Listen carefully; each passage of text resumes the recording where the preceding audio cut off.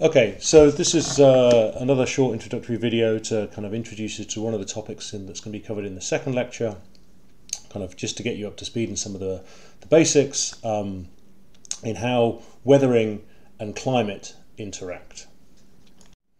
Okay, so this is uh, an image that you know some of you that have uh, been on maybe geography field trips may be familiar with. This is some uh, chemical weathering going on here of limestone. So you can see the the solution weathering uh, this uh, this landscape here, and you might think that there's uh, there's a relationship here between kind of weathering and climate. So we might get more weathering uh, when there is uh, more precipitation or maybe a warmer climate or more acid rain or something like that. So there's a link between the kind of the, the climate and what happens in terms of weathering, but there's also a link the other way around. Okay, so the weathering also has an impact on climate. Okay, and that's what this video will, will show. Um, uh, and, uh, and talk you through some of the chemistry uh, behind the reasons for this. Okay, and so from the first lecture, you'll be familiar with this equation up here.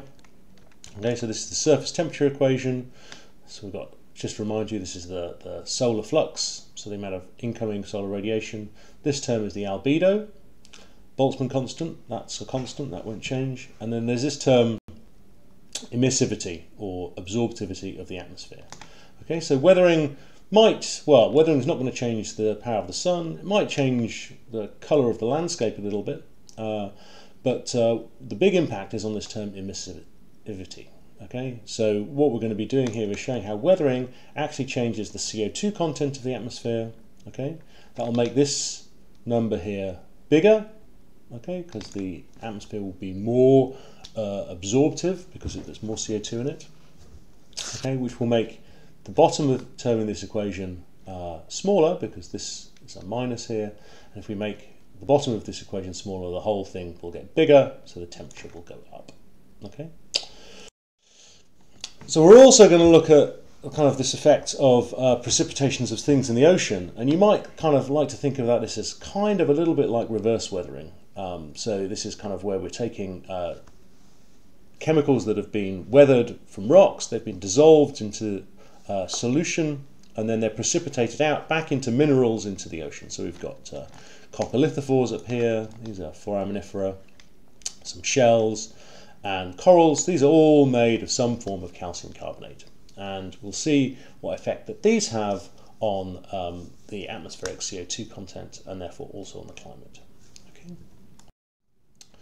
So this is the kind of the kind of take home message really. This is the kind of the answer in that we've got this process that happens kind of mostly on land, uh, where rocks interact with water and carbon dioxide, uh, and this weathering process happens and forms lots of dissolved ions, okay, uh, calcium, silicon, uh, carbon, bicarbonate in this case, and that's this process takes up CO2.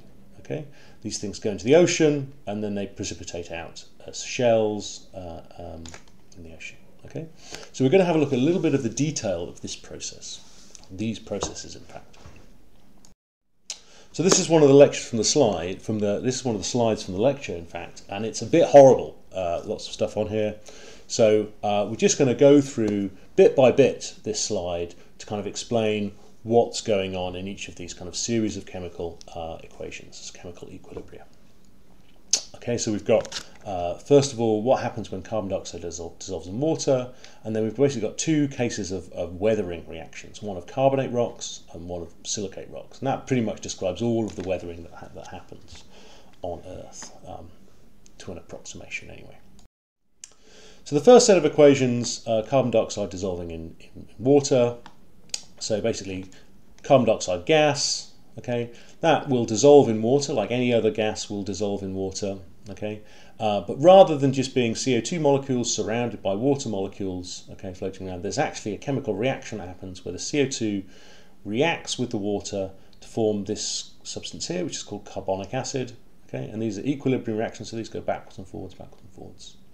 Um, and this carbonic acid is a very unstable molecule in water, okay, so that breaks apart very, very rapidly to uh, this compound here, which is uh, bicarbonate, okay, and that releases a hydrogen ion, and then that compound then in turn also can break apart into carbonate ion, which is this guy here, and a hydrogen ion. Okay, so the important thing here is that when we have uh, uh, CO2 dissolving in, in, water, it basically creates these compounds down at the bottom. Okay, it releases hydrogen ions. Okay, so by adding CO2 to water, we produce some hydrogen ions. We produce mostly, it turns out that the, the, the reactions don't all go to completion. There's an equilibrium between them, and in, in, terms of the ocean in particular, we've mostly got this species here, uh, bicarbonate, present. Okay.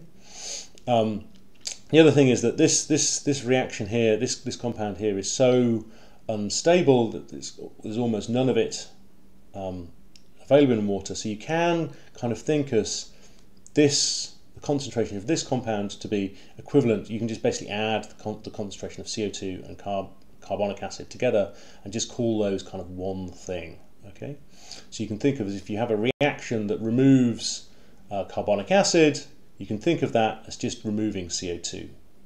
Okay, but with these guys over here, if you remove um, uh, bicarbonate, you're not directly removing CO2. You have to go through these series of reactions. Okay, so we just go through the weathering of carbonate rocks. Okay, so the, the, we've got the top, we've got calcium carbonate. Okay, so this is kind of limestone. Uh, and that reacts mostly in soils, in fact, with this carbonic acid. So it's actually just CO2 and water, basically, reacting together with um, carbonic uh, with calcium carbonate, sorry, and that basically dissolves. Okay, so it's essentially just a dissolution reaction uh, to form calcium ions and uh, bicarbonate ions. Okay, so that's that's the weathering reaction. But those things um, end up going into the water. Okay, so that's that's the weathering of carbonate, and you can see that there that that removes one basically one for every one molecule of calcium carbonate, we're removing one uh, carbonic acid, which is basically the same as removing one CO2. Okay, because this this this happens relatively speedy, speedily even. Okay, but when these ions that we've dissolved, once these get into the ocean, okay, we precipitate calcium carbonate.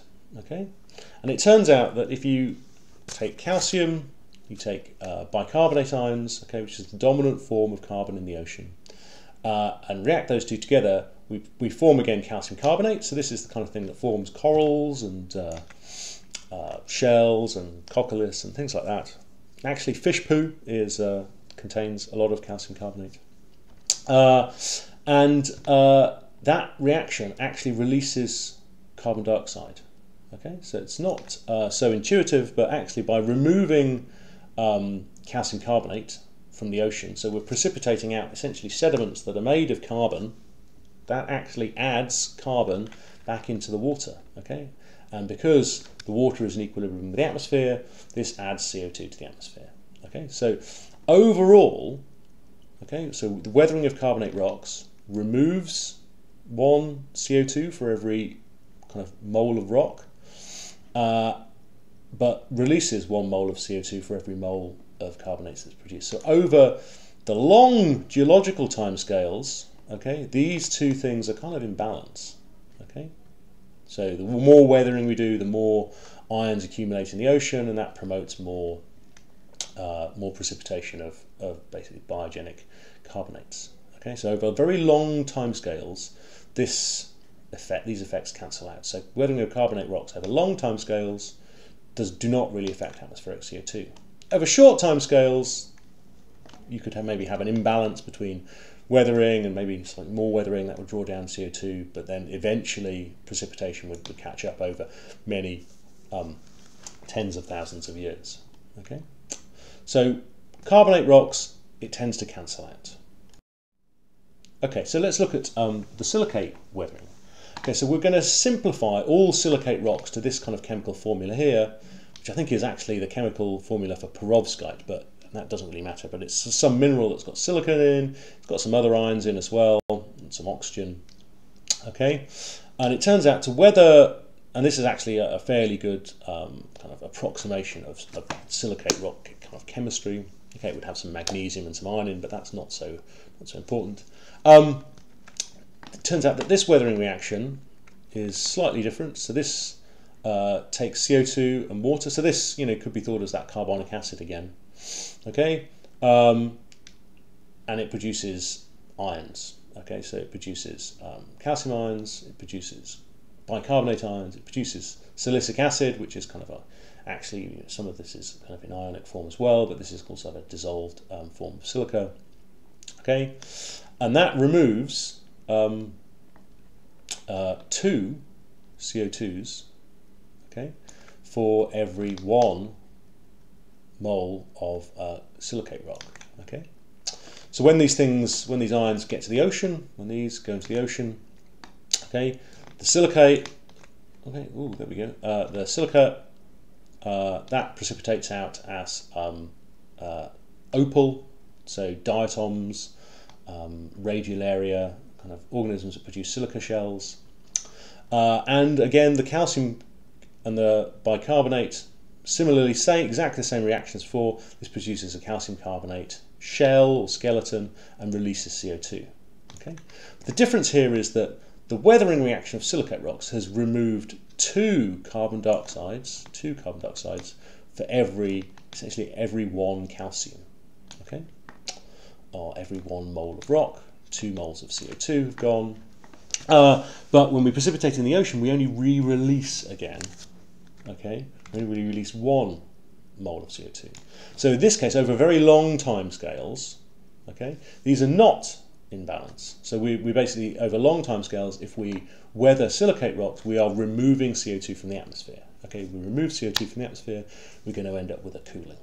Okay, so this is uh, uh, the difference between weathering silicate rocks and weathering um, carbonate rocks. Weathering silicate rocks matter over the long term time scale, whereas weathering, weathering carbonate rocks doesn't matter uh, but on short time scales, both matter because the precipitation in the ocean and the weathering on land are not necessarily in balance. But that's a, that's a caveat. Okay, so I mean, why does this matter in terms of controlling the climate? So this is the reaction at the top here that kind of matters. This is the chemical weathering reaction for silicate rocks we've just described. And like almost all chemical reactions, okay, when it's hot, uh, this reaction will will will, will go faster, the reaction rate increases with temperature, and you'll cover that with, uh, with Brian in the environmental chemistry uh, part of the course. And also, you'll notice that these weathering reactions, you know, involve water. Okay, so we need water to dissolve rocks. Okay, so when it's hot and it's wet, okay, we'll have more chemical weathering of silicate rocks. Okay, and as it turns out, when the Earth's climate is generally hotter, Okay, there's more energy in the climate system. Okay, more water evaporates from the ocean, so we increase the hydrological cycle. So when it gets when the when the, when the planet is warm, the planet is also tend to be tends to be wet. So how does this kind of like affect what happens to the climate? Okay, so we're going to go over in, in the lecture this concept of feedbacks in the climate system, uh, but I just thought I'd, I'd mention it here because it is really relevant to weathering. Okay, so we'll just go through what would happen okay if we say had some initial change okay so we maybe changed the solar flux or maybe we had some forcing that changed uh, the albedo or some other thing that changed uh, maybe increase in atmospheric CO2 by some reason uh, uh, we maybe warm the planet okay so this is this this example here so we've got initial warming okay Okay, and the effect that that will have on weathering is that we, we basically we warm the planet, so we've got an increased temperature. We increase the amount of um, water. Okay, that will also increase the vegetation, so that will increase the kind of the acids in the soil and stuff like that. But that's that's um, that's a kind of like a secondary effect. Um, so all of these things will combine to increase the rate of chemical weathering of silicate rocks. Okay, that will act to remove more and more CO2 from the atmosphere which will have the effect of, of basically reducing uh, the um, the emissivity or the absorptivity of the atmosphere. Okay, so that will go back into that equation for the uh, temperature of the, the surface of the Earth. Okay, so that will reduce the warming. Okay, so this is a negative feedback. So what we're doing is uh, we start off with some initial forcing that makes it warmer, okay, but the weathering, okay, reduces that initial warming, okay. Okay, so it's not just that the, so feedback is not that it it makes something warmer or makes something colder. It's what it acts on the basically the sign, positive or negative, relative to the initial change. So in this case, we've reduced the initial change, and that works as well with an initial cooling. Okay, so if we cool um, the planet, we reduce the temperature, it gets drier, we reduce our chemical weathering. Okay, so we're taking less CO2 out of the atmosphere. Okay, so that means all of the other fluxes of, of CO2, okay, will lead to an increase in CO2 in the atmosphere because we're removing less. Okay, so that that means that we'll have more CO2 in the atmosphere than we would have otherwise had, and our initial cooling of the climate is somewhat counteracted by this reduction in weathering and increase in atmospheric CO2.